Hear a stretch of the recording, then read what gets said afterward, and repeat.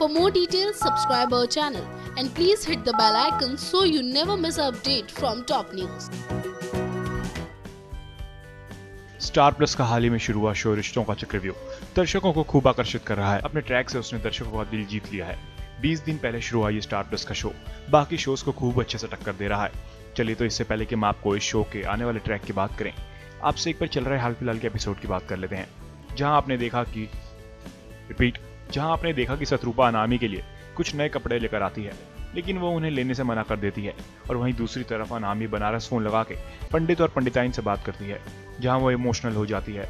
इसके बाद आपने ये भी देखा कि अधिराज लाल महल में पूछताछ करने आता है, जिसे देख पूजन फरार हो जाता है और वो रास्ते में देखता है कि कुछ लोग उसका पीछा कर रहे हैं। चलिए तो अब आपको बता दें क्या कुछ होने वाला है आने वाले ट्रैक में।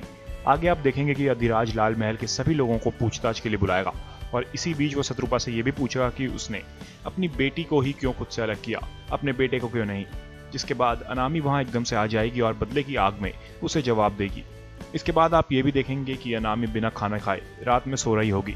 तभी शत्रुपा वहाँ अनामी के लिए खाना लेकर आएगी और उसे बोलेगी कि वो खाना खा ले और खाने से नाराज़ ना हो। फ़िलहाल के लिए हमारी स्टूडियो में बस इतना ही। For more Bollywood and telly gossips please subscribe to our channel top news just for you top news से रवि की report.